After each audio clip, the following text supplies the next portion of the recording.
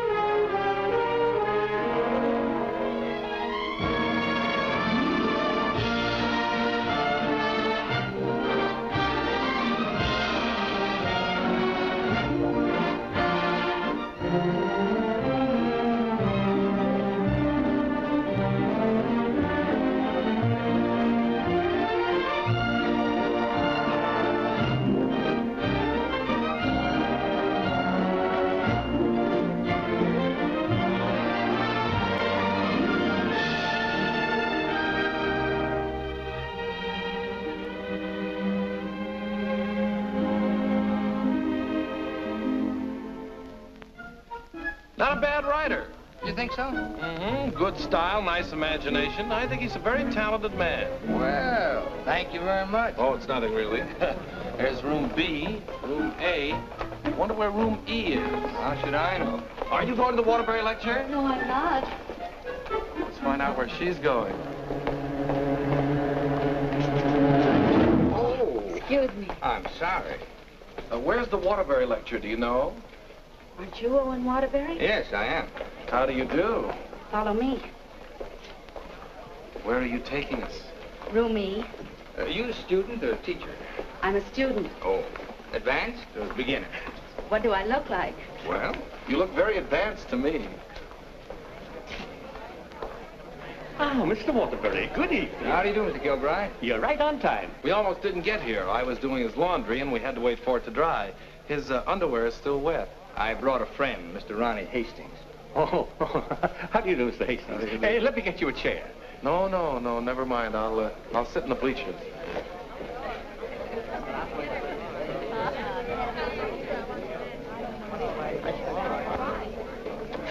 Hello. Hello. You, uh, you going to be a writer, too? I hope to be someday. Well, uh, this lecture should help you a great deal. He's a great writer, isn't he? Oh, yes. Of course, he gets most of his ideas from me. Excuse me. Yes? Uh, you're sitting in my seat. Oh, I'm terribly sorry. Good evening, Miss Gaylord. Hello, Mr. Scott. Uh, anybody sitting here? Yes, Clarence Henderson.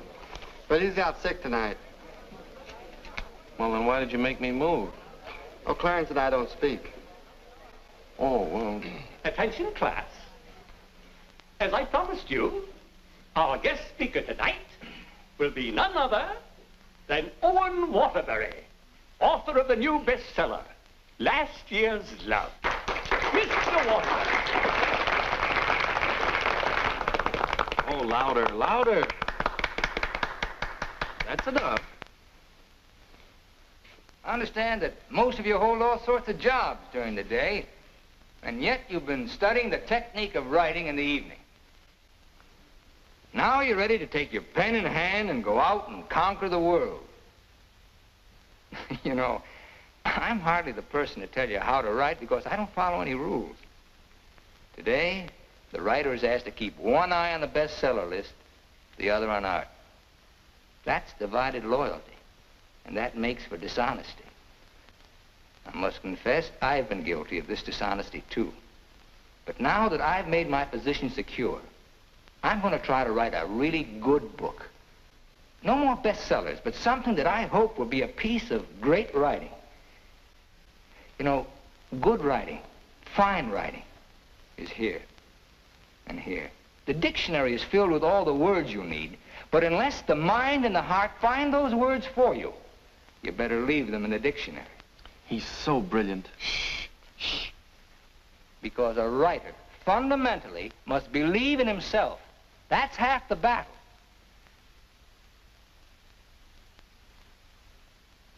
I'd uh, like to interrupt my little talk for a moment to say that I'm going to be in a position to help somebody here in this class. Beginning tomorrow, I'm going to need a secretary. I've already placed the request with the University Placement Bureau, and uh, man or woman, whoever qualifies, will get the job. That's very nice of you, Mr. Waterbury. Well, it's not a big job, but the surroundings will be wholesome. And you'll be able to serve your apprenticeship under someone who's already established. Well, so much for that. I remember when I wrote my first novel. Took a lot of work. I starved, lived in a little back room, all the while consoling myself that I was going to be another Poe. So you're really going to work for Owen Waterbury? Well, I, I was offered the job by his personnel manager. I've heard a lot of weird stories about Owen Waterbury. Oh, you hear weird stories about any famous person. Why, last night his talk was actually inspiring. Steve, do you realize you've been here five years? Well, isn't that a, a little too long for anyone with my ambition? Where does Mr. Waterbury do his work? Well, his personnel manager said in his apartment. Apartment. Well, you can't expect a writer to work in an office, Mr. Harris. I want to write, and I think he can show me how. Who knows? After a year with him, I, I might even be autographing copies of my own book in, in one of your bookstores By taking a course in Owen Waterbury. and getting paid for it at the same time. I'm going to miss you, Steve. Oh, no, you won't. After a week, you won't even know I've gone. Not true, but good luck anyway. Well, I could make a big speech, but I think you know how I feel about everything. You've been wonderful to me. I understand. Steve, Yes? call me sometime, will you? We'd like to know how you're getting on. I'll call you tonight, after I get the job.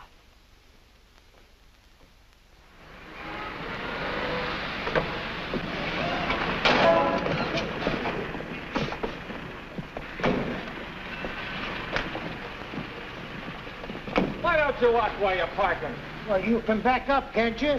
You got a reverse. Never mind, Bill. Just save your energy for upstairs. Smart guy. Hand me the bag, Bill. Yes. I'll take it upstairs for you, man. Anything drives a cab these days.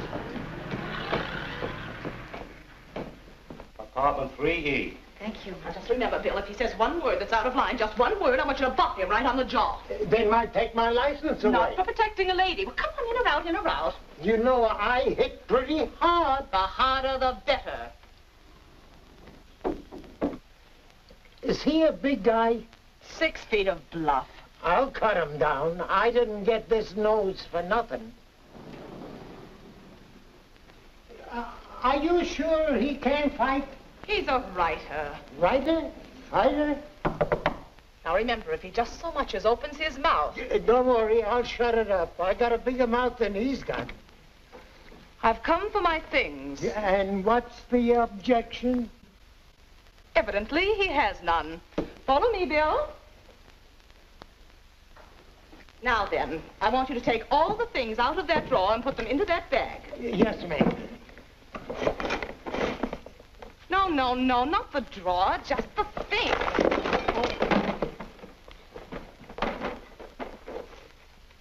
Oh, come in, come in, come right in. That's right. Uh, that's Mr. Waterbury's former secretary. She quit this morning. Uh, won't you sit down? This is my mink. And how? Mr. Waterbury gave that to her as a Christmas bonus. My typewriter. Well, uh, that was sort of a New Year's bonus. My aujourd'hui. Uh, she brought her own uh, aujourd'hui. My pot. She, uh, she cooked once in a while. My bourbon. She uh, drank a little. My cigarette box. She smoked, too. My lipstick. Uh, shall we adjourn to the library? Your frankfurters. Goodbye, Mr. Waterbury. Good thing you didn't open your mouth. Y- thank you. Come along, Bill. Don't bother with your inferiors. And now, miss, what can I do for you? This, uh, this is your new secretary. Oh, yes, you're from the Kilbride School. Yes, I am. Say, look at that. She knocked over a bottle of ink all over the carpet, and it's going to be hard to get out, too. Well, would you try cleaning it up, please, Mary? Not me. The landlady says I'm not to clean up any more messes. Just do my regular work and get out of here. Excuse me. Would you like some help? Oh, thank you very much. Say, you're going to work out fine. Here, Ronnie.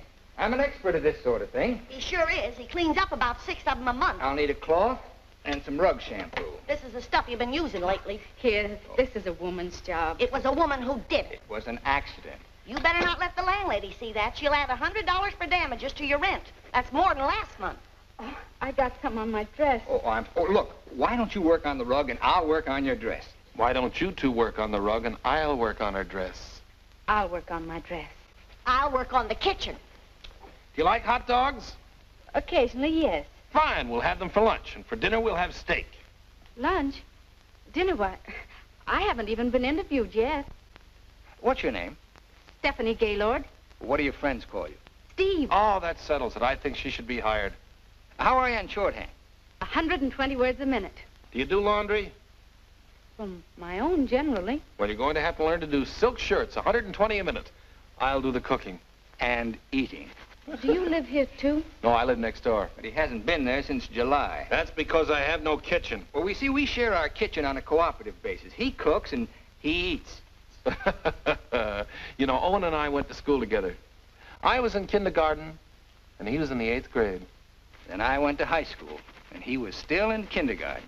And then I studied piano and became a character in every Waterbury book. And what were you in last year's love? I was the chorus girl who studied piano and was very bitter about the world. Where'd you work before? Who, me? I was secretary to Charles Harris. He, he owns the Harris bookstores all over the country. And how is Mr. Waterbury's latest novel doing? Second only to the Bible. Oh, well, he won't like that. You married, Steve? No, I'm not. Please, Ronnie, I'm not interested in whether or not Miss Gaylord is married. Oh, no. My biscuits are burning.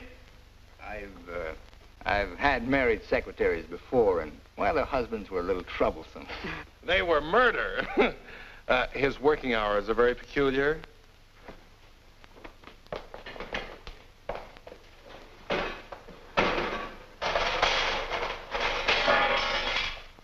Well, I think we've done a good job. I had such a different impression of what this job would be like. Oh, today was an unusual day. But after this, there'll be no more distractions. I'll go.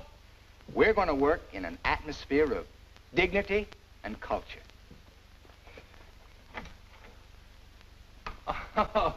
it's your bookmaker. Mary, that man's here again. I heard you. How much do I owe this time? Eleven bucks. Don't you give me no more of your tips. That horse will come in next time out. Next time out, he'll be dragging a load of ice. Well, uh, what do we owe you?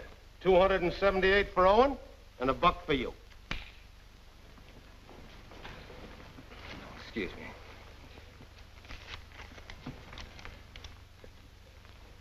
Here you are. Uh, I'll have to owe you mine till next week. You want to wager today? Well, uh, I haven't looked them over yet, but I'll give you a call. And no more 50 cent bets. The boss don't like 'em. Um, where was I? You were telling me that everything here was dignified and cultural. Oh, yes. Now, Steve, about your other duties. I'll go. Did you just have an interview with my daughter, Mary Hastings, about a secretarial job? Why, yes.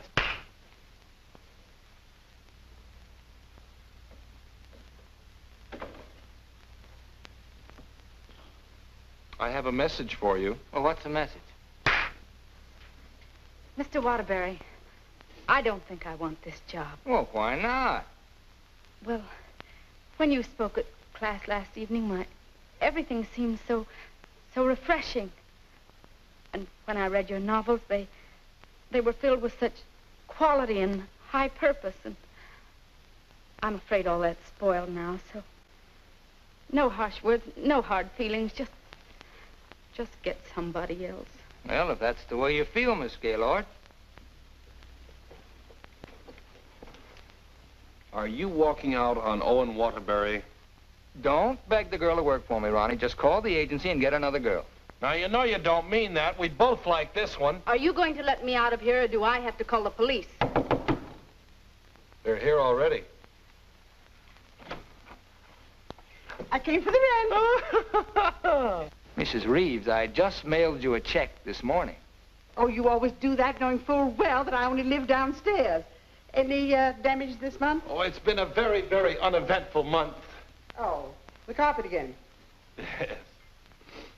Mercy! This fish belongs here. And this duck up here, you throw the whole room out of contour. Mrs. Reeves, if you'll excuse me... I heard me. some screaming just outside the door. New secretary? Well, yes, yes. You being hired or fired? Uh, Miss Gaylord has just been engaged. Oh, too bad, Mr. Waterbury, because something moved in the apartment upstairs would just fill your every requirement. Well, unfortunately, Mrs. Reeves, uh, the job has just been filled. Well, I want you to meet her anyway. Felicia! Uh, coming, Mrs. Reeves.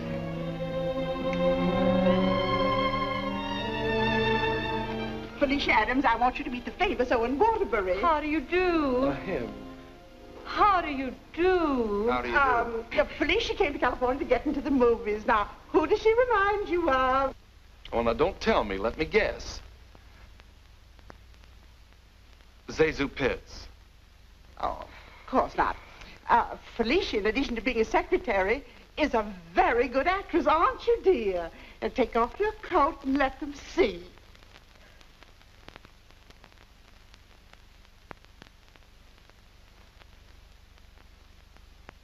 She's got a lot of talent there. I thought you'd think so. I was a model back in Texas, but I came out here for a career. Daddy's financing me. A friend of yours? Oh, no, my father. Uh, perhaps Felicia could play the heroine in your next novel when it's made into a movie. Uh, She could do that. What's the heroine like? It's a girl from the South. Why, I'm from the South. How perfectly coincidental. Uh, she's trying to hook a rich man. She's insincere and a moron. Well, what's worrying you? Well, I'm not so worried about being insincere, but as for being a moron, Oh, now, don't worry about that. You could act like a moron, couldn't you, dear? I could try. Oh, I'm going to dramatic school. Maybe they can teach me to be a moron. If you studied hard enough, yes. It'd take a lot of work. Look, Mrs. Reeves, I haven't even started my novel yet, and it doesn't look as if I'm going to if I'm continually interrupted. Well, we'll leave and let you work. Oh, Ronnie, I'm having a party for 50 guests tonight, and I'm expecting you to entertain for us at nine. Is it informal or shall I bathe? If you don't care to entertain at my parties, pay your rent. well, I'm off to the horse show. You haven't got a chance.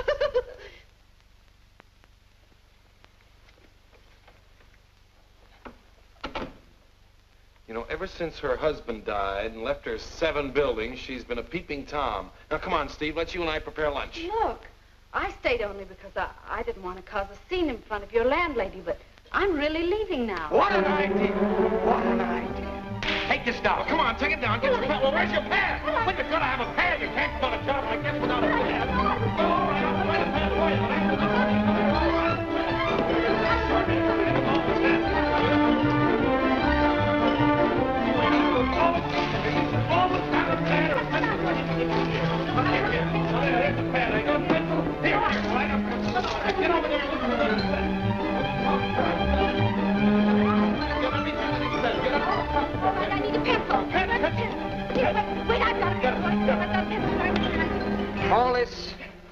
notes on my new novel.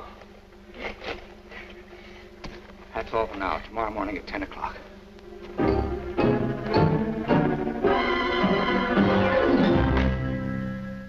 He's incubating. He's incubating at last. Come along. He always starting new novels? Yes, yes, always. I remember on last year's Love, I was baking a cake.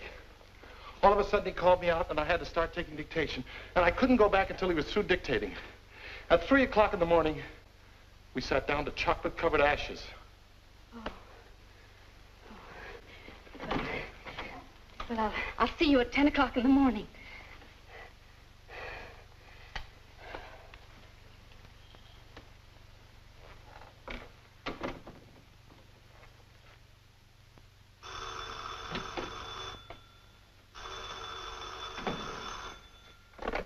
Hello? Hello, Steve. I couldn't wait for you to call me, so I'm calling you. How was the job? Well, I I have to make an adjustment, you know. It it's such an unusual kind of a job. I can imagine. He he, he started his novel today. Oh, interesting story? Well, he didn't get very far into it, but but I'm sure it's going to be wonderful. He he seems so excited about it. Look, Steve, let's have dinner one night this week.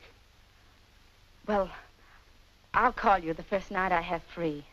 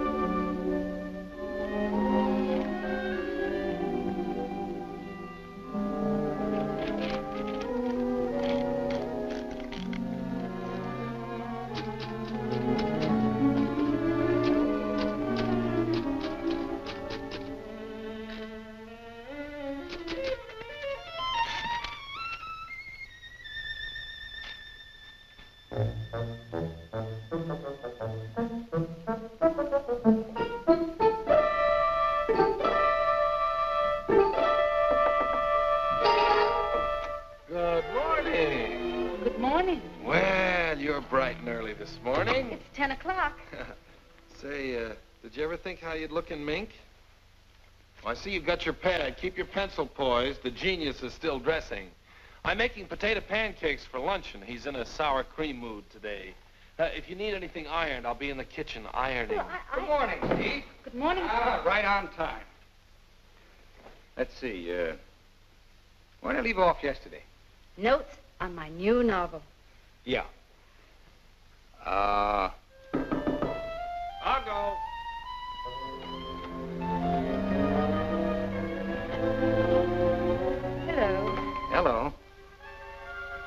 Hello.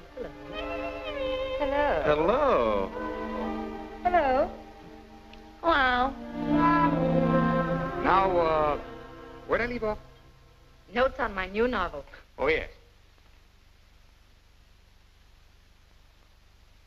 Make that notes on my new novel by Owen Waterbury. That's good. Oh, that's real good. Don't you think that's good? Oh, I like that. Chapter one, general introduction of characters. Chapter two. Well, I'll do chapter two tomorrow. Chapter a day? That's swell. You sure you're not tired? Miss Gaylord, you stay here and answer the telephone. I, uh, I'm going to the beach for some salt air. Well, be sure you don't bring any home with you.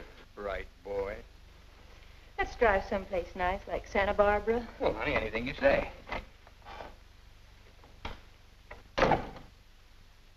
Don't pay any attention to him. He's just trying to make you jealous. Jealous? Well, what makes you think I'm, I'm even interested in him? You know, for a secretary who's just been given the day off, you're awfully annoyed. Annoyed? Of course I'm annoyed. I just don't want to sit here doing nothing. I came here to work. I came here to do nothing, and now I'm working. Look, if you get paid for idleness, grab it, you fool. There goes another one.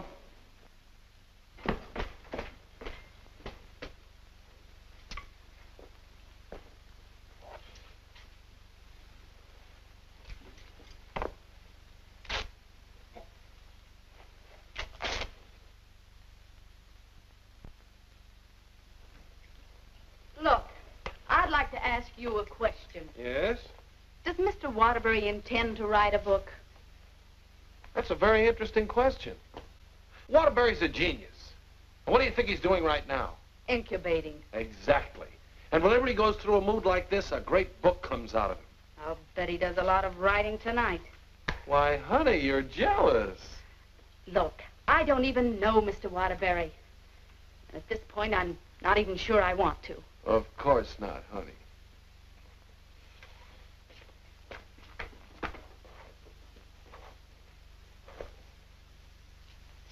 Say, can you tell me what I'm doing wrong? Everything. Here, let me have it. How can you get so many wrinkles in it?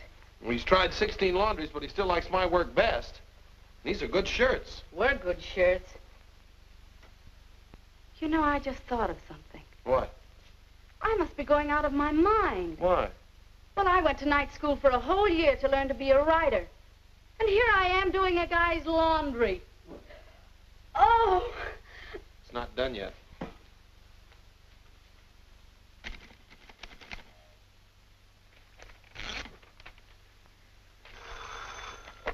Hello? Miss Gaylord, this is Owen Waterbury. I want you to be here tomorrow morning at 9 o'clock. I've finally gotten the idea. Thank you.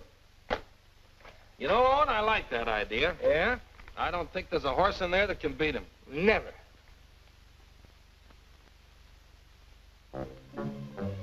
Morning.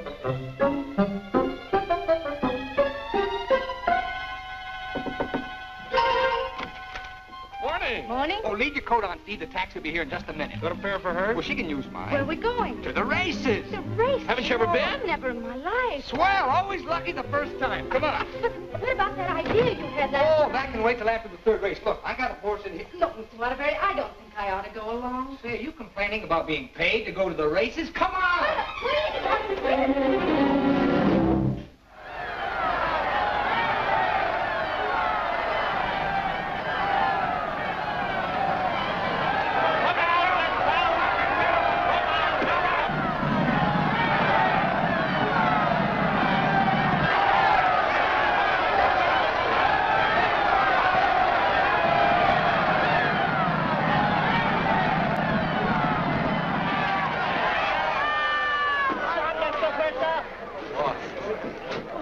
What happened?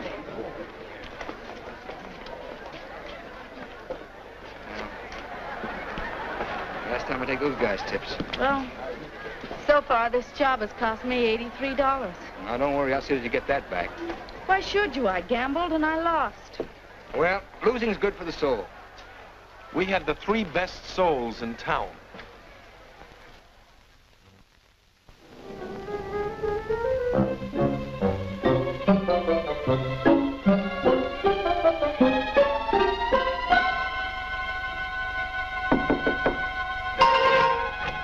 Good morning. Morning. Well, leave your coat on, Steve. The plane leaves in 35 minutes. Plane? Where are you going? Las Vegas and get back your $83. Las Vegas? I can't go to Las Vegas with you. Well, are you objecting to being paid while working? Paid? I don't think I can afford to work for you much longer, Mr. Waterbury. Oh, Steve, it only takes an hour and a half to fly. Hey, you catch the evening plane back, you're home in time for dinner. With on. tons of money. No, I won't go. I just won't go. No, please, please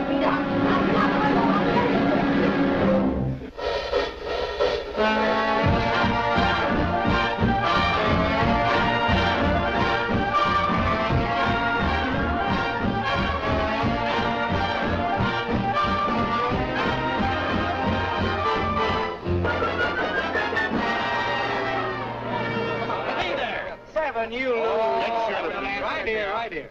No show shooter. No dollar bets here. When do you think you're going? Los Angeles? Hit the road. Come hit the road. on, baby. Here we go. Come on. For the easy way. Oh, what is your point? Hard way. For the hard way. Hard way for. Hard Come way on, for. baby. Here it comes. There she is. Four. Seven, you lose. Seven, you lose. Standing on my right again, huh?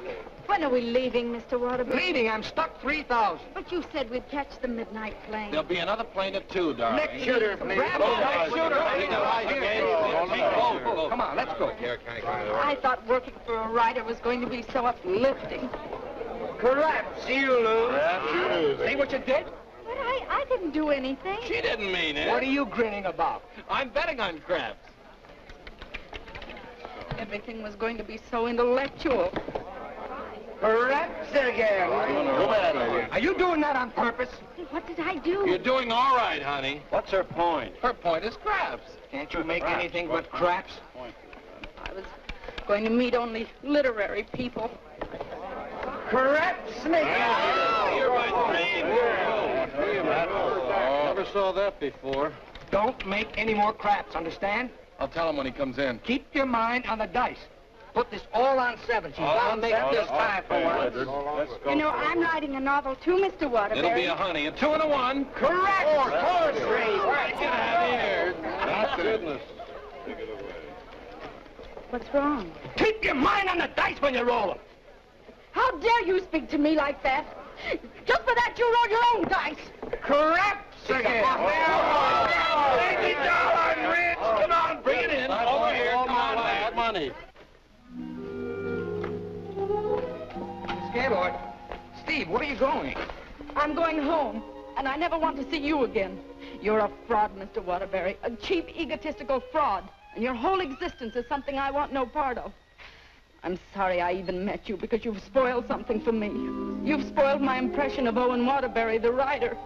Steve, look, you, you can't go home alone. I'll take you home. Steve, please sit down, will you? I want to talk to you. Please. Steve, honestly, this gambling, it's an insidious thing. It changes a person. I, I'm really terribly sorry. Well, then why don't you put a stop to all of this and get down to work? I guess I'm afraid. Afraid of what? I'm afraid I'm not the great writer I started out to be. Instead, I'm just a commercial hack. Oh, no, you're not. Didn't you see how everyone at the university treated you with awe and respect? Why don't you write another love story? I'd be going backwards. Backwards? Stick to your last. You know the story of the clown who always wanted to play Hamlet? If you keep telling yourself you're a failure, you'll be one. If I try another love story, will you work for me? If you work, I'll work for you. Thank you.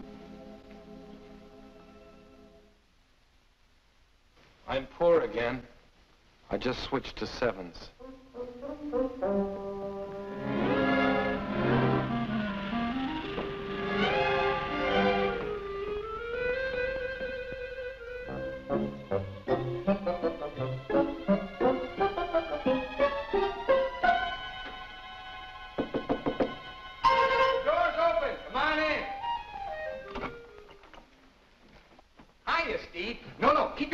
I'll tell you why. The taxi's going to be here in just one minute. What? Oh, don't worry. We're going to work, but let's do it at the beach house, huh? He's superstitious, honey. He starts all his novels at the beach house. But why the beach house? Did you like last year's love? Very much. Well, most of last year's love was done down there. Well, uh, shall I take the typewriter? It'd be a nice idea. Ronnie, will you stop teasing the girl? I'll be dictating today. Come on, Steve.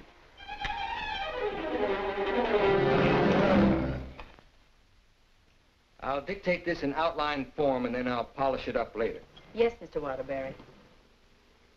This is the story of a successful novelist who began to die, morally and spiritually, until a girl came into his life. And then the whole world seemed changed. He'd seen her one night while delivering a lecture to a short story class. There were so many faces looming up in front of him, but he saw only one, hers. Wistful, delicate, exquisitely beautiful. Without her knowledge, he arranged to make her his secretary because in that fleeting moment, in that single instant, he knew he was desperately in love with her.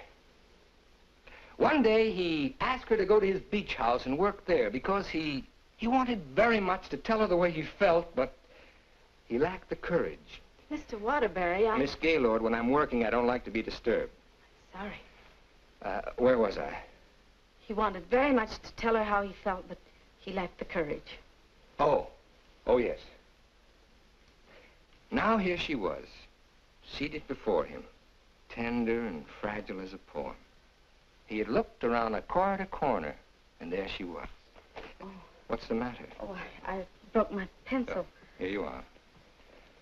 Let's continue. He, uh, He was tempted to take her up in his arms and sweep her to the summit, but he didn't dare. He knew very little about her, yet there was nothing else he needed to know.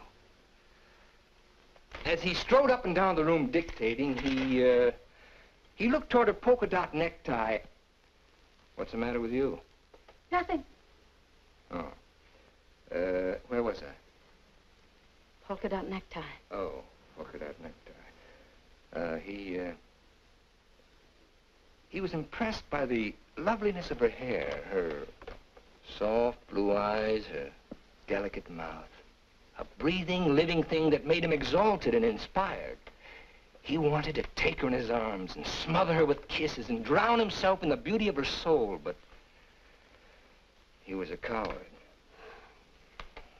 How do you like it? It, it has possibilities. Suddenly he threw caution to the winds. Leaned over and kissed her. She melted in his arms and offered no resistance. Wordlessly, they held one another in silent embrace. Oh, you've got the wrong girl, Mr. Waterbury. I'm really leaving you this time, and don't you ever try and get in touch with me again. I don't even want my salary check. You can save it for the next victim. And if I ever see one of your books again, I'll burn it!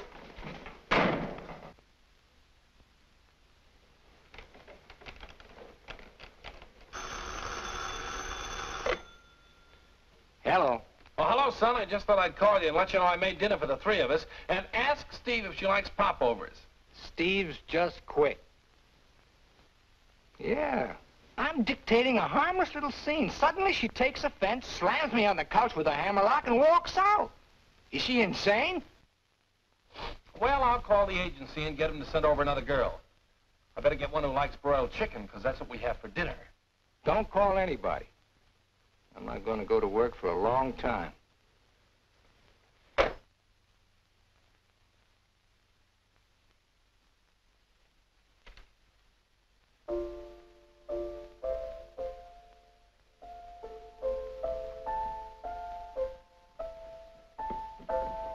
Come on. Will you get out of here so I can wash these keys? I'm composing. Composing. I haven't heard a good song out of you yet. That's it. Give me that again. Thank you very much. What are you calling that thing? I got a cold in my nose. Come on, sing it. Oh, Mr. Ronnie, I, I... Oh, don't be silly. I just want to hear the quality. Sniff, sniff, here's a handkerchief. Ka-choo, ka-choo, gesundheit to you. Let yourself go and blow. Oh, let yourself go and blow. Sad, ain't it?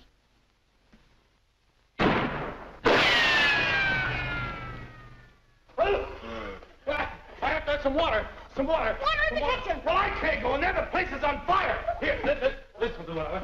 Oh. You and oh. your cooking. You and your popovers, they don't pop, they explode. Call the fire department. The Call fire department, they just put water over everything. Oh. I can't. Oh. Oh. I'm going to tell the landlady on you. Oh, I gotta tell the landlady on you. No, no, no, no, no. Well, I'm not going to clean up this mess. All right, just for that, you won't get a piece of pie. What's in that garbage can? Pie? 30 misses out of 31 tries.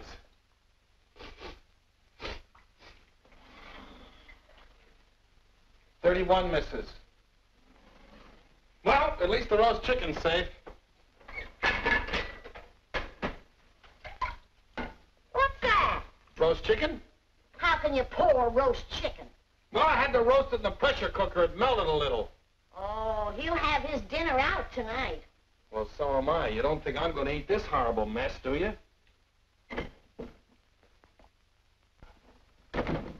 Hi, Owen. Hi. He has a nice roast chicken for you, Mr. Waterbury. Give him a glassful. Mr. Waterbury, I think it's my duty as your servant to tell you what just happened in the kitchen. Oh, now, Mary, why don't you go home? Mr. Ronnie set fire to the kitchen. I don't care if he sets fire to the whole apartment. you see, Tattletale? A lot of good it did you. Uh. I'm going to tell the landlady on you, and you too. Well, what happened down at the beach house? Will you stop asking me silly questions? I told you on the phone. She quit, that's all. Well, she had some nerve. Well, I don't need her. There's a lot of other secretaries. Well, of course there are. just as capable, efficient, and just as cute. Sure. We never did find out how good she could type. Well, I'll call the agency and get another secretary. No. I got a better idea. What you gonna do? I'm gonna pack. Where you going? New York, change of environment. I'll work better there. Gonna get rid of the apartment? Yep. Well, what's gonna happen to me? What should happen to you? That's a very unfair question. Boy, I'm not gonna let a little thing like a secretary throw me off balance. Never in a million years. I got a life to live, too. Wonderful, beautiful, exciting life. I got a book inside me, a great book, full of intensity and scope. Boy, you know something, Ronnie? I'm glad this happened. I'm down to earth now. What happened? Well, you can still use it. Elsie called. She's, uh, sorry she quit in a huff, and she apologized for the cab driver. See? That's what Steve will be doing tomorrow. Calling and apologizing, but I won't be here. Say, what am I running away for anyway? I'm not afraid of her. That's what I like to hear. That's the real Owen Waterbury. Listen, call Elsie. We'll take her out to dinner. We'll take them all out to dinner, a different one each night. I'll go and change my apron and be right back.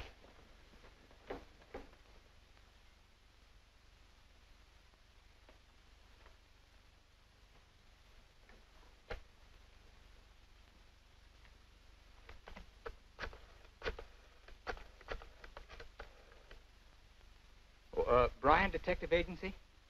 Uh, this is Owen Waterbury. Yeah. Look, I want you to shadow a girl for me. Stephanie Gaylord. Now, let's all try to have a good time tonight, okay? I'm willing. Are you, Ronnie? I'm willing. Good evening, Mr. Waterbury. Hello, Francois. Here, why here? I like it here. You've always hated the Ridgely room. He's joking. I'm not joking. You've always hated it, hasn't he, Elsie? I thought so. I've always hated it. Mr. Waterbury, there's a gentleman here to see you. Gentlemen? Oh, oh, yes. Uh, Ronnie, will you take Elsie to a table, and I'll join you in just a minute, huh? All right, but don't leave us. Don't stick Elsie with the check again. Antonio, table three. Table three. Uh, where is he? Alcove two. Oh. Good evening. Is that the gentleman? Yes, sir. Hello. Did you send me that message? Yes, Bryant Detective Agency. Hmm. Devon is the name. Well, how'd you find her so fast? That's my job. There she is, right over there, with a man. Who's the man? I don't know. Do you want me to find out? Of course I do. All right, I'll start shadowing both him and her. I want you to find out everything you can about her. I think she's in love with him. She your wife? No, my secretary. I get you. Look, I want nobody to know about this. Don't worry. The way I operate, even you won't know about it. Can you check a pass for me? It'll be expensive. Well, why? The unknown quantity. You've just finished checking on a girl. Took us a year to get her pass caught up with her present. Do a good job. I will. Take care of my check. Cigarettes? Yes, give me a pack, please.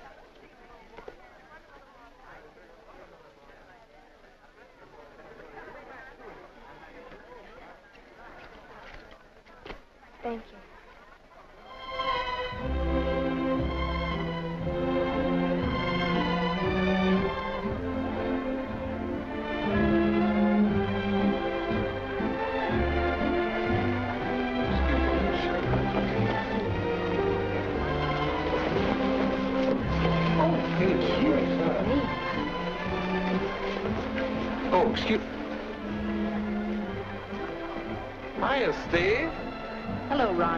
Talk to her. I'm mad at her. Oh, I forgot. Good evening.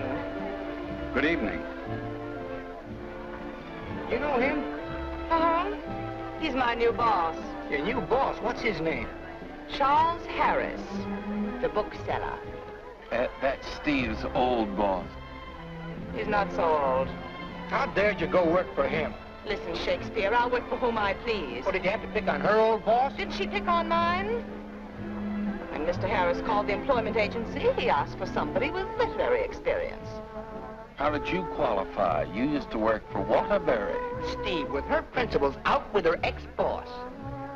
What about Elsie? Who's she out with? We're talking about Steve and her principals. Leave mine out of it. You know, I bet Harris hired you just to spy on me. Well, you're not very complimentary. I happen to be an excellent secretary. When did you learn to type, dear? Has he been questioning you about me? Only the normal questions about my experience. You didn't talk, did you? Ronnie, will you stop looking at everything as one big, long laugh? Well, I've got a laugh for you, lover boy. What? They're going to be married. They're what? They're going to be married. Where are you going? I'm going to talk to her. Your order, please. A broiled chicken. Yours? Well, I'll have a glass full, too. Hello. Good evening. Mr. Harris, Mr. Waterbury. Well, congratulations. I just heard the good news. What good news? How about your marrying Stephanie? Uh, may I dance with the bride? That's entirely up to her, isn't it? May I? Not at all. So she decided to get married to the wrong guy. Are we going to dance, or are you going to dictate a novel? Oh, now why should a nice, intelligent girl like you marry a man she doesn't even love? For your information, I'm not marrying anyone. Oh, well, now I respect you. You respect all girls who decide not to get married. Uh, going back to work for him? Is this a quiz, or are we going to dance? Well, it could be both. Say, how would you like your old job back? Better terms? Not interested. I'll throw in a bonus. Marriage. Mr. Waterbury, you talk about marriage as though it was something cheap and vulgar. Who else but Owen Waterbury would invite you out for the evening and dance with another girl? I would. Say, why don't you pay him back and dance with Mr. Harris? I wouldn't think of dancing with my boss. This is me you're talking to, remember? Well, I I mean, not until I'd worked for him. For a few days. Well, that's a nice sentiment. Steve, you're in my arms at last. I'm holding you at last. We're dancing. You may be dancing, but I'm holding you. Like the tide, you go out, but you also come in. Owen Waterbury, you're the most maddening man I've ever met. Listen to me, Steve. I love you. Everything I dictated at the beach house, I meant, but it was too much of a coward to say it outright. I love you, Steve. Marry me. Take a chance. This is me, the author with beautiful words, but I'm stopped. All I can say is, I love you. Marry me. Your chicken, madame. And your chicken in the glass, sir.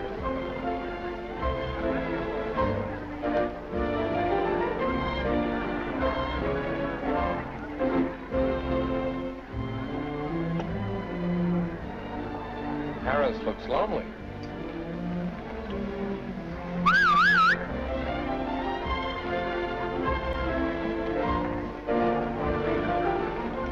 Uh, oh, Mr. Harris, this is Ronnie Hastings. How do you do? Won't you sit down and have a glass of broiled chicken? Thank you. I think I will.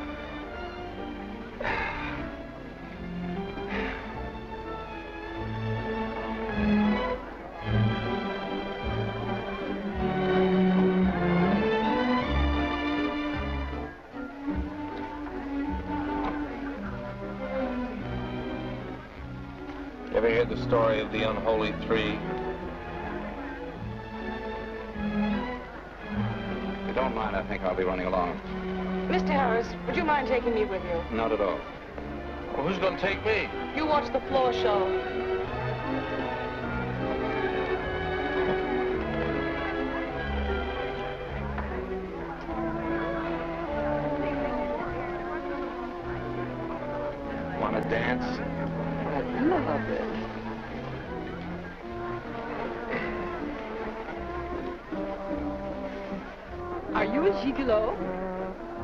tonight. I think I will be. Oh.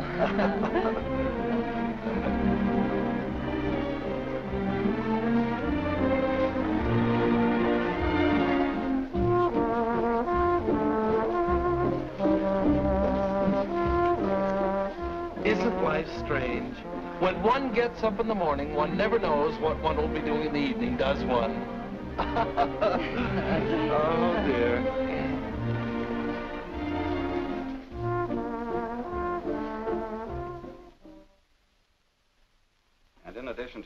Supplies, please order one Remington electric typewriter for the outer office.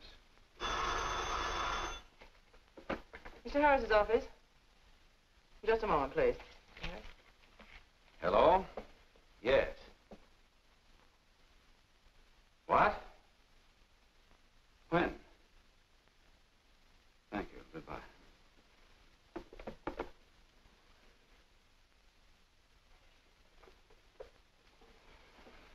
What's the matter? Is anything wrong? Owen Waterbury just married Steve. He didn't. Oh, yes, he did. I never thought she'd marry him. I never thought he'd get married. Well, here we are, honey. Welcome to Honeymoon Manor.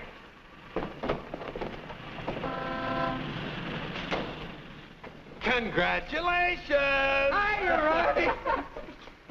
May I be the first to kiss the bride? Or am I the first? I'm not a very wide awake bride. Honey, let's get some sleep and then we'll go over to the beach house, huh? How long you been driving? 24 hours. Las Vegas and back. Oh. Hey, whose bags are these? Oh, uh, those are Felicia's. As soon Oh. as I told her the news, she decided to move out. It's a good idea. Darling, this is quite a threshold. Three stories up. Well, we can use the threshold upstairs. Oh, good idea. Hiya, Felicia. Congratulations. You did very well. She certainly did. I'll get you moved in as soon as I get her moved Okay. out. Uh, why don't you try the building next door, dear? Driver, old lady's home. Whoops. Hello, Mary. Oh, I'm so happy for both of you.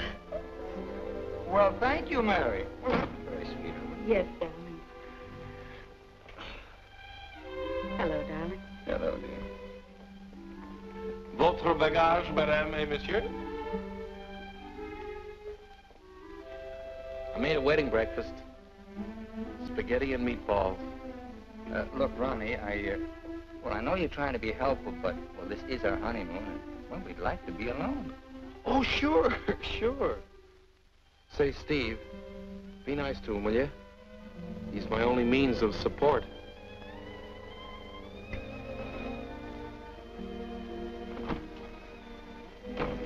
Darling, are you glad you married me? Oh, what a question to ask me now. Well, it was on the spur of the moment, and, and you do change your mind so. Darling, I'll never change my mind about you. You're the first nice thing in my life. Could you tell me where is apartment 3E? Who are you looking for? Isn't that the business of the people in apartment E? 3E? It's the next apartment down the hall, sir.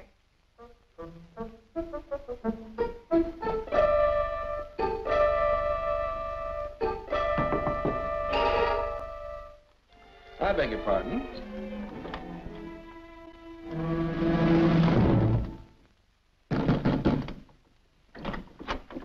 Yes, and what can I do for you? I have a message for Mr. Waterbury. Well, I'm afraid Mr. Waterbury can't be disturbed just now. He's, uh... He's a little busy. My name is Devaney. Will you tell him the woman he's interested in got married?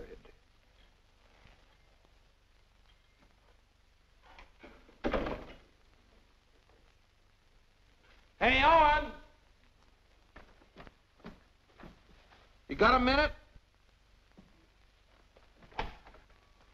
Ronnie, what is it now? There's a fellow was outside, said his name was Debney. He had a message for you. I don't know any Devneys. He said the party you were interested in got married. Well, congratulations. So did I.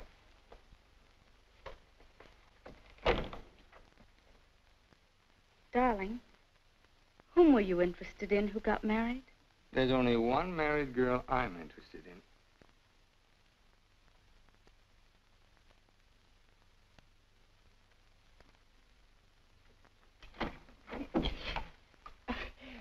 You tell Mr. Waterbury I want to see him right away, and I mean immediately. Owen! Horrible Hannah's here. We call you that affectionately, dear. Now what is it? Oh, excuse me. I didn't know your uh, secretary was working late. They're married. Married. Well, as his wife, she might as well be in on this. Just what can I do for you, Mrs. Reeves? I've come for the rent. What I paid you the rent on the first, Mrs. Reeves. I've had to make a new rule, Mr. Waterbury. I don't take bad checks When'd you make that rule? since you moved in. Uh, darling, do you happen to have $485 in the bank? I think so. Well, uh, could you write me out a check till I get this thing straightened out? I can't understand how my account got so low. That's 6000 for the crap game? Oh, yes. And the two bucks for the marriage license? One has to live. Thank you, dear. Uh, thank you, Mrs. Waterbury. I never thought I'd ever call anybody Mrs. Waterbury. Oh, well, I'll just walk you down the hall. oh, thank you, Ronnie. Is this any good? She's loaded. Well, I suppose an explanation is in order. You don't owe me an explanation. Oh, but darling, I want to explain. Oh, excuse me.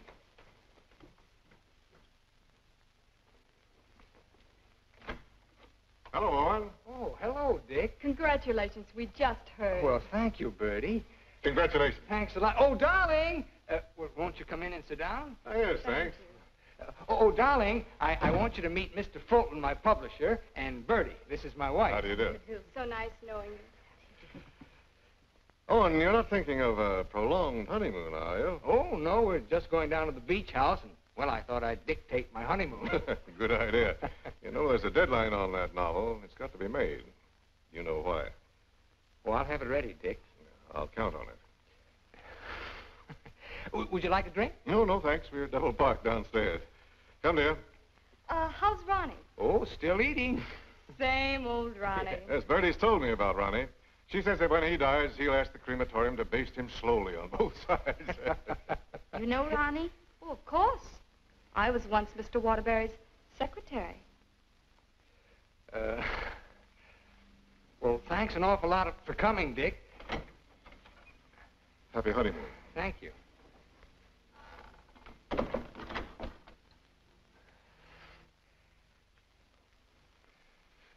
Darling, why did Mr. Fulton look at you so accusingly?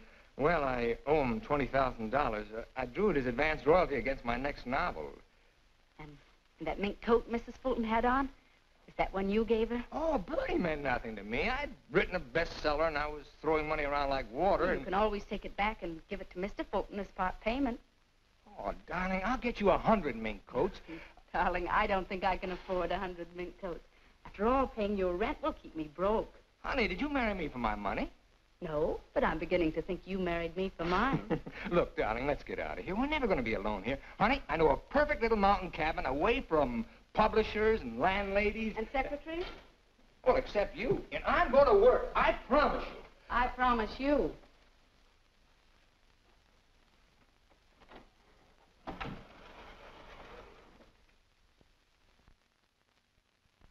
How long did you work on this book, Owen? Four months. I'm uh, rather proud of this one, Dick. Where's Mrs. Waterbury? Oh, Steve's down at the village getting groceries. She wants to prepare you one of her special dinners. Well, uh, I'm afraid I can't stay for dinner. I have to catch that next train back. Dick, let's drop the suspense. How'd you like the book? I'm going to let you have it right between the eyes, Owen. You don't like it? I hate it.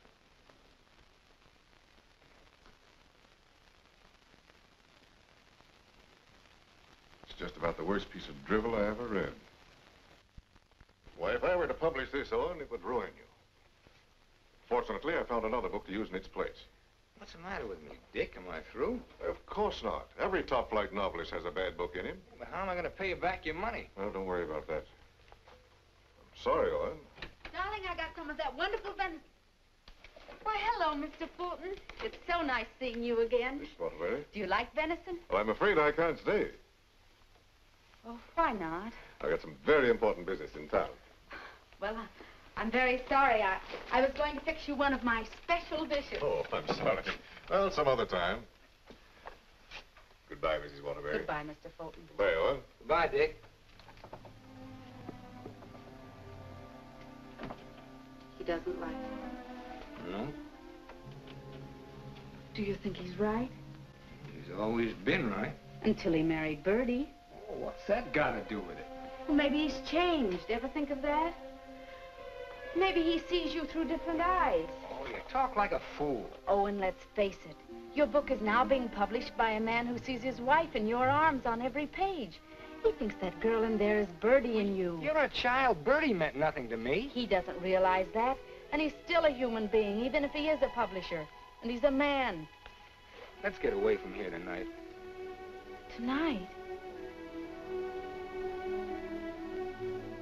Oh, and you blame me, don't you? Not really, Steve. It, it's just that it's so distracting to have a man's wife as his secretary, too. I've got to try another book fast, and... Now, I'm going to have to get myself another secretary. So I'm fired, is that it? Oh, Steve, it'll be better for both of us if I work by myself. It'll give you a chance to work on your own book. I'll make dinner.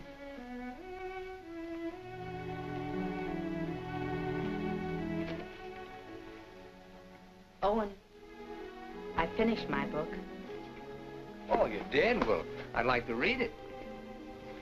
It's been on your dressing room table for two weeks. Oh. Well, I'll, uh, uh, well, I'll read it on the train. Don't bother. Oh, you hurt. No, I'm not. You call and get tickets for the train and send Ronnie a wire to get you a new secretary.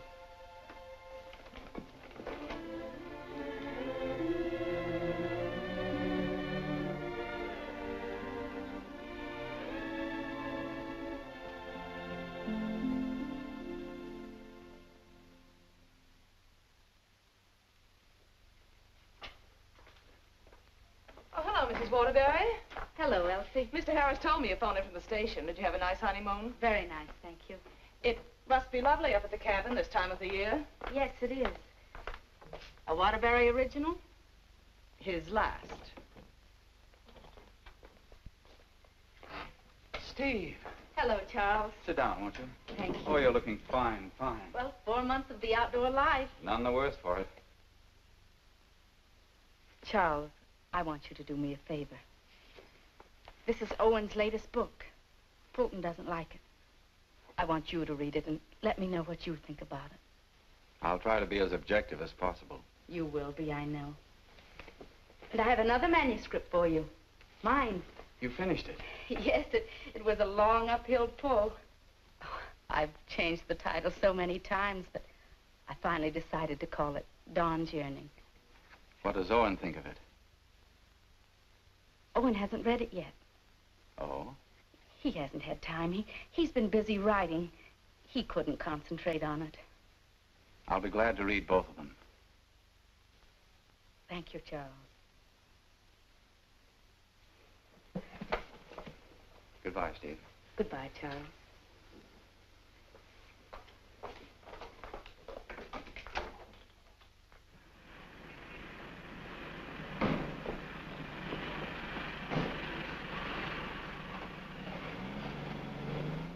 On the third floor, but I can't find the Waterbury apartment. Well, here's Mrs. Waterbury.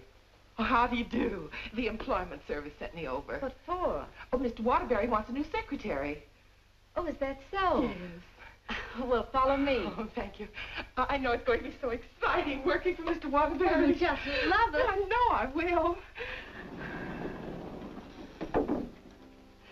You know, this is such a rush call, I hardly had time to dress. Dress beautiful. Oh, thank you so much. You know, I make my own clothes. Oh, really? Yes. Come in. Come right in, Miss, uh...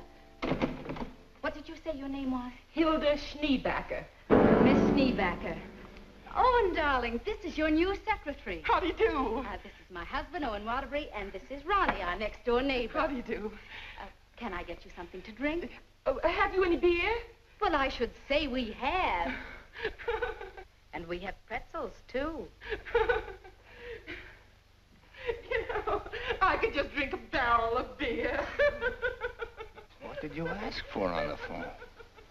I thought they knew our account. Dope. oh, don't bother.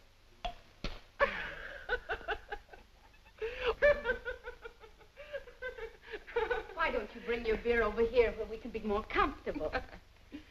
oh, uh, do you do laundry, Miss Schneebacher? Just shirts and socks. I don't like to do sheets. Well, sit down, please. Uh, how are you on handicapping the horses, Miss Schneebacher? Oh, yesterday I picked two winners. Played them both right on the schnozola. Oh, and I think she's enchanting. Uh, what size coat do you wear? Do you have to wear a coat on the job? Oh, Mr. Waterbury likes to give all his employees mink coats for Christmas. Oh, I wish I'd known that. I could have saved the skunk's life. I wonder who she means. I'm gonna love this job. You're all so nuts.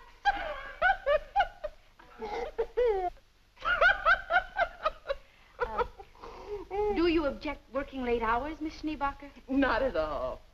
A room with a girlfriend. I haven't seen her since New Year's. Schneebacher, I'm afraid this job's going to be a little too much for you. But why, Owen? well, you see, just... several parts of my new novel are mostly in French, and, well, I'm sure you don't speak French, do you, Miss Schneebacher? Studied it for six years. Once I had a French boyfriend. We had no trouble. Uh, yes, but how's your shorthand? Shorthand? I don't take shorthand. You don't take shorthand. Well, no. The agency said this was strictly a typing job. Oh, no. This is mostly a shorthand job. But I could learn it. No, I no, know I'm that it's- afraid not. Well, guess that lets me out. Uh, leave the glass, please. Oh. Thanks for the beer.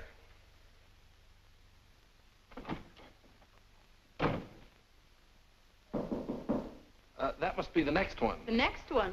I told the agency to keep sending them until we said when.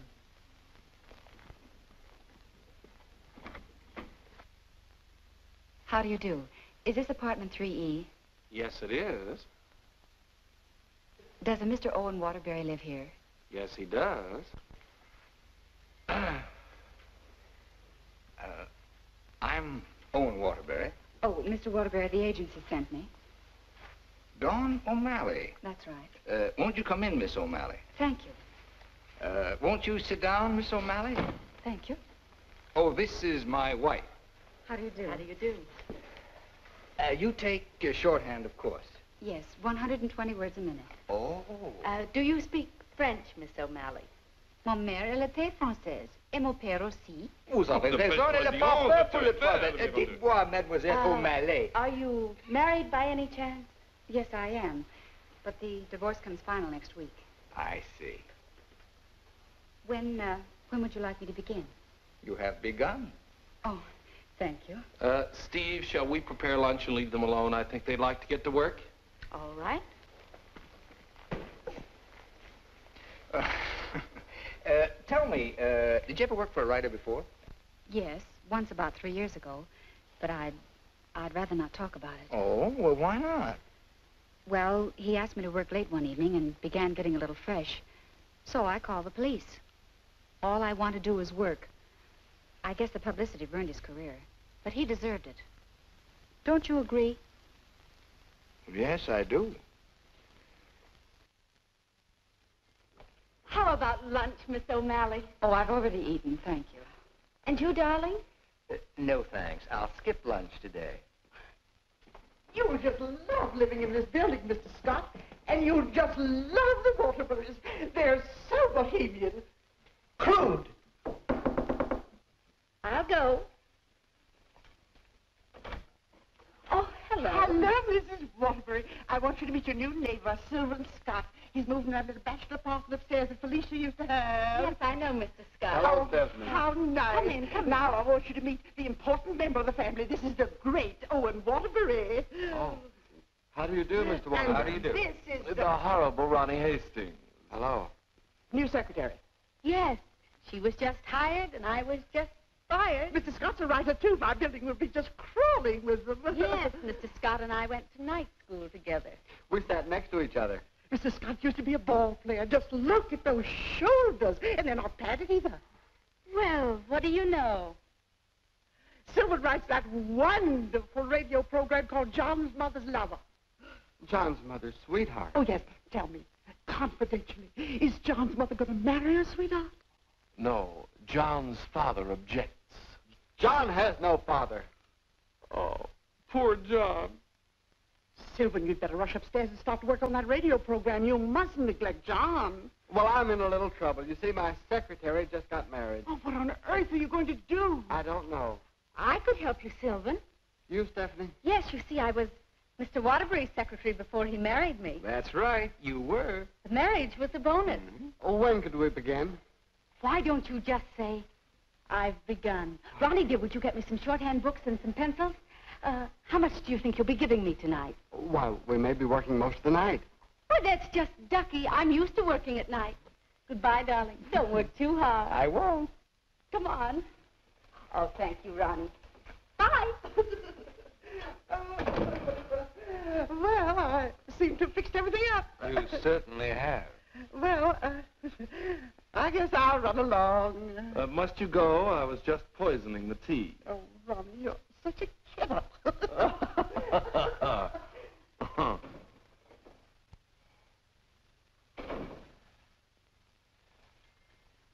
you know, uh, you're gonna really like it here, honey child. Watch your hands. I don't tolerate familiarity from anybody, and I mean anybody. I once ruined a man's career, and don't you forget it. Uh, Miss O'Malley, you may have the day off. Why don't you make it a year? But I haven't even begun yet. Oh, that's all right. You get paid just the same. Oh, well, all right. Uh, what time tomorrow? Oh, any old time. Suit yourself. But I don't understand. Well, how about noon? All right. Thank you.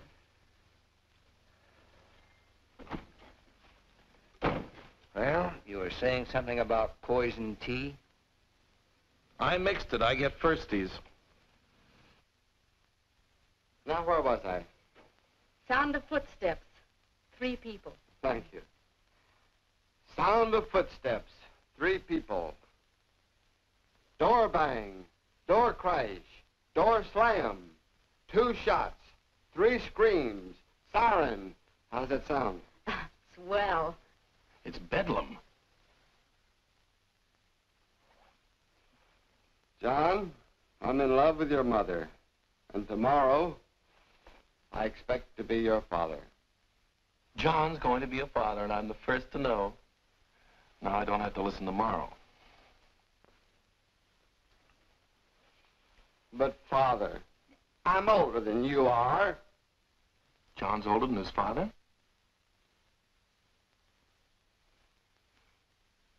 What happened? That's what I'd like to know. I don't know. But don't you worry, Miss Waterbury. I'm not going to do anything.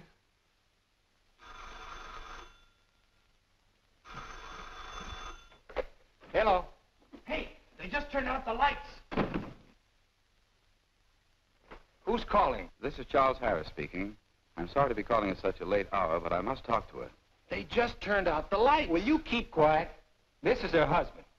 No, she's out for the evening. She's right upstairs. And I don't know when she'll be back. Didn't you hear me? I said they just turned out the lights. Darling, may I borrow a light bulb? I don't care what you do. What's the matter? I'm going to a hotel in case you're interested. I'll go to a hotel. After all, this is your apartment. No, it isn't. You pay the rent. Ronnie, will you take this up to Mr. Scott, please? Oh, and you can't possibly be jealous of that man upstairs. Why, he's utterly harmless. Boy, you really had me fooled. Why do you say that? Charles Harris just called. Have you seen him, Steve, since we came back? Oh, and it, it's terribly late, and, and I don't like cross-examinations. After all, we're two adult human beings, and, and we should be able to trust one another. Don't smile it away with pretty words, Steve. Have you been seeing him? Yes. All right, then this is it. But I only saw Charles Harris for one reason. I took him your manuscript.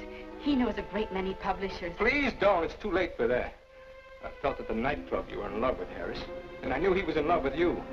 After all, five years is a long time, and I was a fool to think I could break it down. I never loved Charles Harris. Well, you never loved me. You were in love with a schoolgirl notion of a popular novelist. I really try to play this straight with you, Steve, but I guess I made a beautiful mistake. Owen, I was in love with you before I met you. Something in your writing, the, the tone, the feeling, the, the quality appealed to me so much that I used to imagine your books were written just for me. It's true, I, I built it up in a schoolgirl way, and, and I was so caught up in it, I, I guess I would have married you the night you lectured in class. If you'd stepped off that platform and, and asked me, I, I would have married you. Just like that. How can you talk to me like this? I put you way up there too, Steve. But you tore it down in the cruelest way any woman could. You once called me an egotistical fraud. But what about you, Stephanie Gaylord? What have you been? Go ahead, phone him. He's waiting for you. Owen!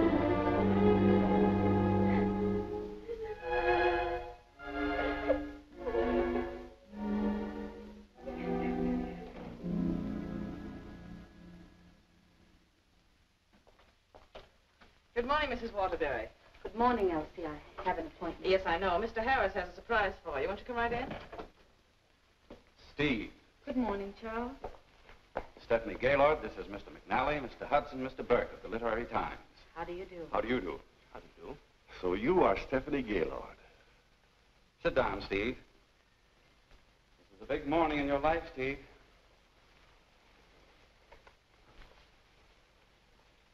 Mr. McNally is head of the publishing house in New York. He flew down this morning. That's why I called you so late last night.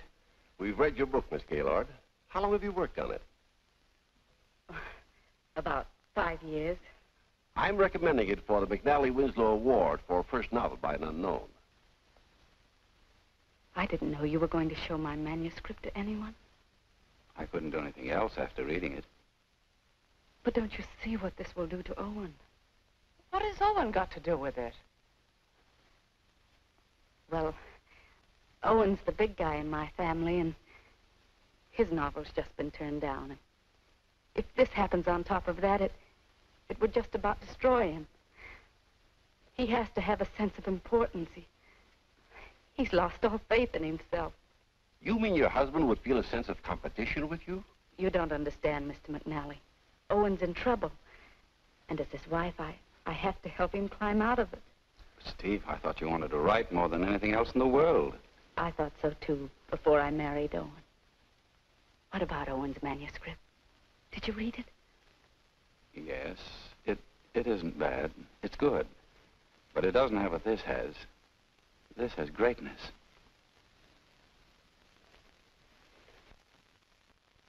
Thank you very much, gentlemen. Steve, please sit down.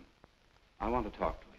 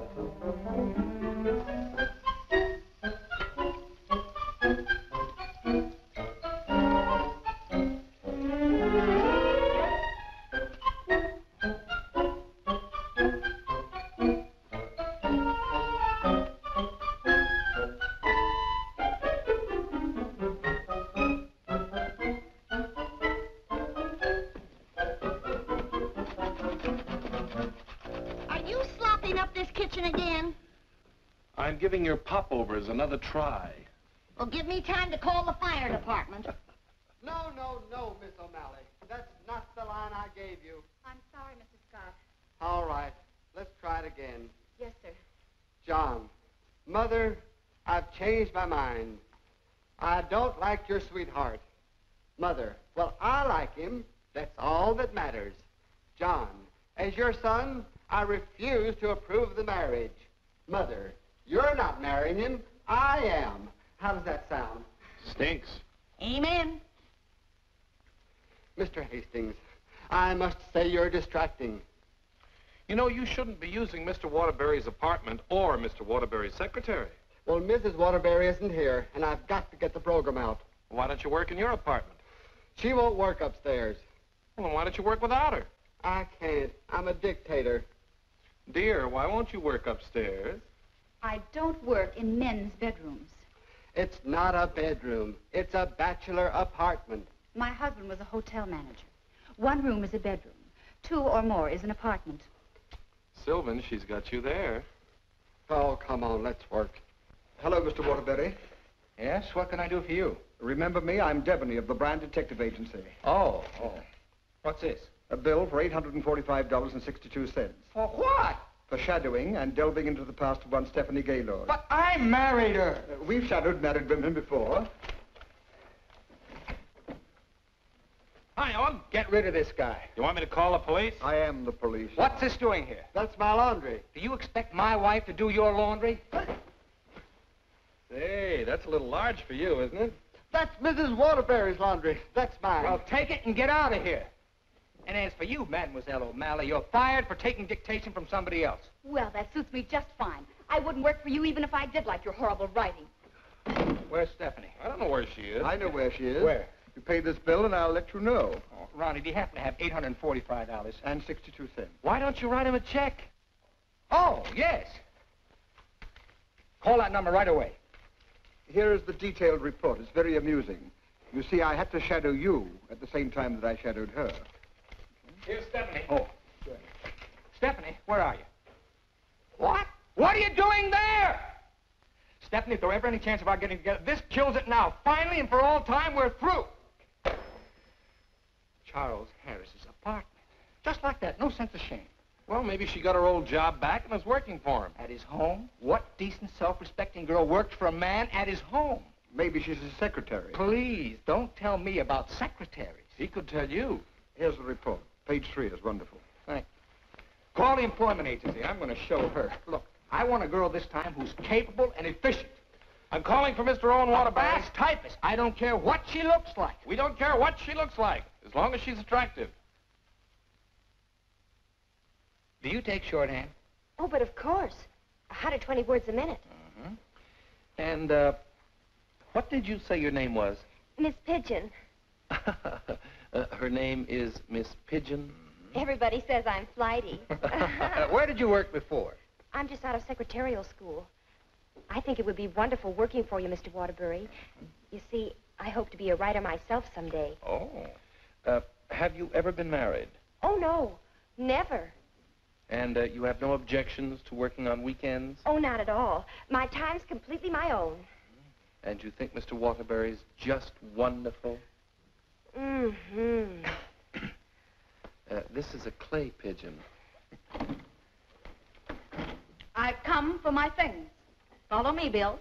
Yeah, I know just where to go. I want you to take everything out of that drawer and put it in that bag. Right. Mm-hmm.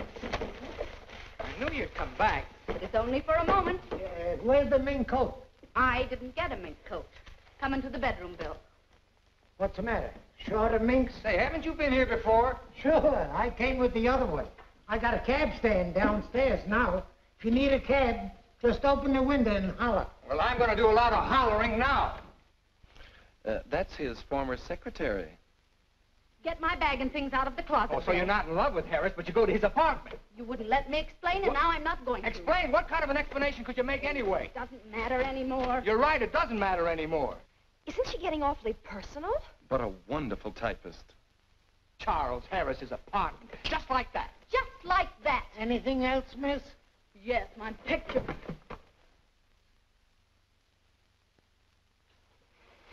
If I were a man, If I'd... you were a man, I'd ask you to step outside. Go ahead, hit me. I dare you. Did he slap her? I should say not. She slapped him. I've known all along why you've resented me. It was because I liked your novel and I told you so. You think you've wasted your time. That's your tragedy. My only tragedy is you. I'm going far, far away from here, and I'm going to write a book about you. I'm going to call it The Heel and His Victim. That's a very horrible title. It'll do. Goodbye, Owen Waterbury. And don't you ever try and get in touch with me because I want no more of you. And that goes for me, too. Where's Miss Pigeon? She, uh, flew the coop. Where do you think Steve's going? I think she's gonna marry Harris. Harris. I'd like to see that little worm. I'm going to. Now, where are you going? I'm so mad I could get married. You know, I think I'll have to. Well, whom are you going to marry?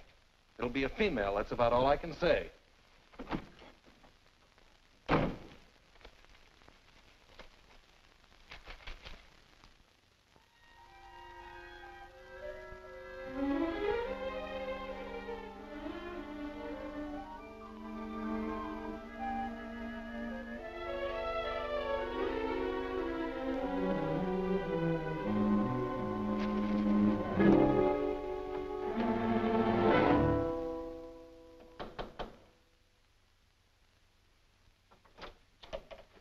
See Mr. Harris. Your name? Owen Waterbury. Excuse me, sir. And excuse me. I didn't mean to disturb you and my secretary. Your former secretary. Oh, I didn't know you were in the middle of dictation. Your sarcasm is quite uncalled for. Of course, I don't have to tell you what I think of a man who behaves this way with a secretary. you keep out of this, Elsie. Look, Charles and I are going to be married. Congratulations. What? Just where does that leave my wife? How do you suppose she's going to feel about this? She's in love with you, you know. You never deserved as fine a girl as Stephanie anyway. You know, Harris, I've always wanted to tell you that I really think you're a crude person. Your motives are very obvious. You've given me a lot of grief ever since I married Stephanie, and I came up here to tan your hide. So put up your hands and defend yourself like a man. Oh, you can't nobody's hide. Oh, listen to me, you fool. Why do you think Stephanie came up here in the first place? Because she wrote a novel and Harris wanted to have it published. She didn't want that. She was afraid it would hurt your vanity and wreck your marriage. She wanted him to help you instead. Oh, look, I've read your last book, the one Fulton turned down. It's grand, it's exciting, it's wonderful. Fulton's wrong. He's just jealous because of Bertie, and it's all your own fault, Mr. Great Guy. You know, someday Stephanie's going to be a better writer than you are. That's my opinion, and you've always valued it. Here, Stephanie's novel. Read that and really get jealous. You know, you're not going to get her back. She's gone away, and it serves you right. I hope I kicked a little sense into you, but I doubt it. Goodbye, Mr. Waterbury.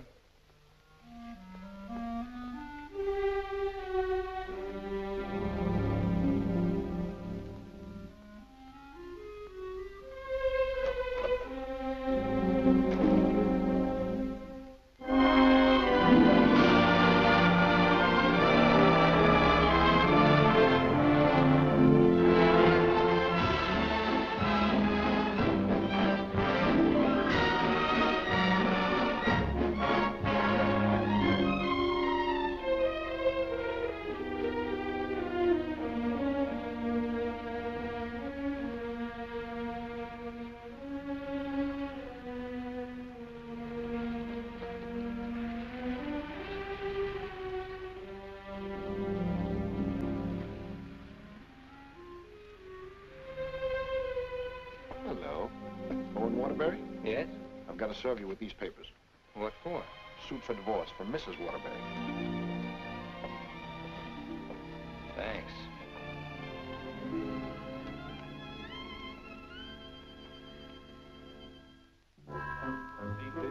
First off at the left, after you get out of the elevator. Thank you. Oh, mine's three. What's yours, please? 4C. Isn't that Sylvan Scott's apartment? Oh, is it? I didn't know who lived there, but uh, I'm his new secretary. I see.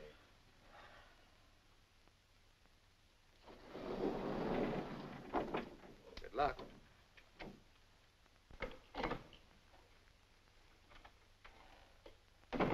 Hello, Mr. Waterbury. Hello, Mary.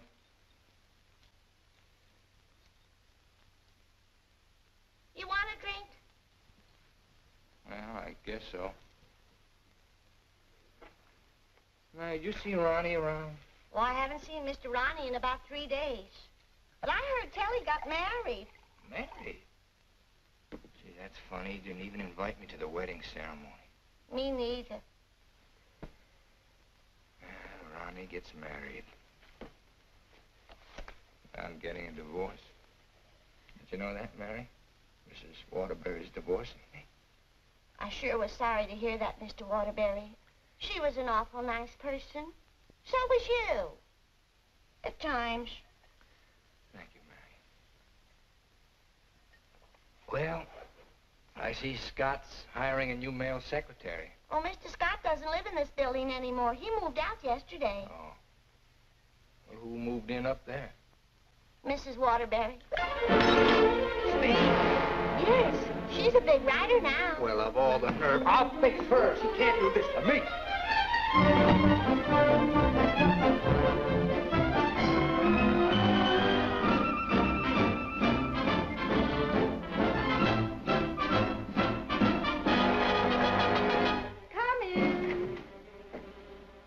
But I do for you? Out.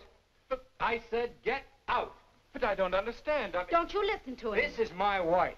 You're his wife? I'm trying very desperately not to be. Didn't you get the divorce papers today? You're still my wife until the final decree, and that takes a whole year. Are you still here? I said get out. Mr. Simpson, you come back here tomorrow morning at 9 o'clock. You'll come back here never. If I find you here again, I'll throw you out on your ear. Hiring male secretaries right under my nose. Right over your nose, dear. And don't be cute at a time like this. Why'd you take this apartment anyway? Because it was the only one I could find, and Mrs. Reeves was kind enough to let me have it. Oh, sure, sure. I thought you'd think I was chasing you, Owen Waterbury. But my living here need cause us no embarrassment. We can be friends, meet in the hallway, and exchange polite little hellos. I exchanged polite little hellos with your friend Harris recently. Elsie was there. Told me all about your book. Oh, you didn't want to have it published because of what it might do to me. Silly. I mean, do you think I look upon you as a competitor? Don't you think I can compete with you, Mr. Waterbury? I read your book last night. Kept me up most of the night. You want to know something? Yes? You're better than I am. But don't tell anybody because I'll deny it. Now, you listen to me, Mr. Owen Waterbury. I'm a human being, too, and, and I have certain rights and privileges.